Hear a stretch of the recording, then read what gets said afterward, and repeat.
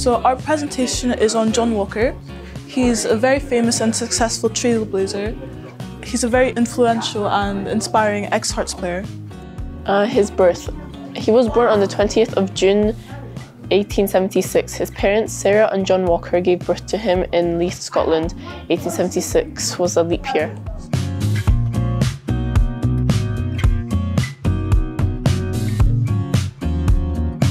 So that was a video of Leith, how it would look like in the 1870s, 1860s. So in the year 1897, he was part of a smaller club called Leith Primrose.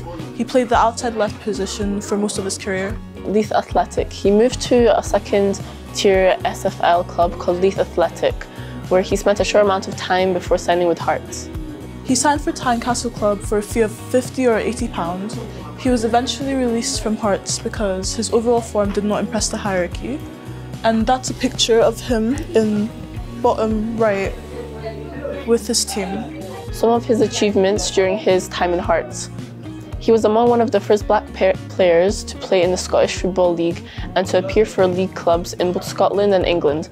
He played for Scotland three times and every time he played for them, his team won.